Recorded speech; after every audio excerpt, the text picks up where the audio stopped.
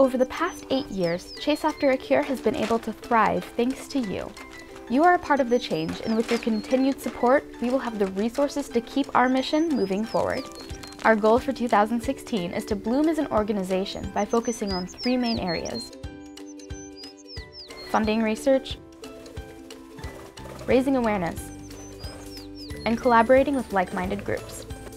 We truly believe that with a honed focus, we can make a difference in the fight against cancer. By planting seeds today, we can help create a better tomorrow for children fighting cancer. Childhood cancer continues to be the number one cause of death by disease in children, and with less than 4% of federal research funding going towards childhood cancer, we need to continue to advocate for increased financial support.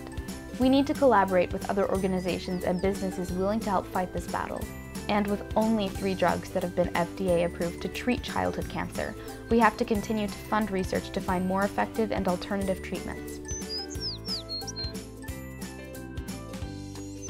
By becoming a volunteer, sponsor, or advocate, you will provide the nutrients necessary to help us grow and evolve. Together we can do so much. Join us in the fight to end childhood cancer by planting the necessary seeds to ensure a brighter future for tomorrow's children. Be the change, be the cure chase after a cure.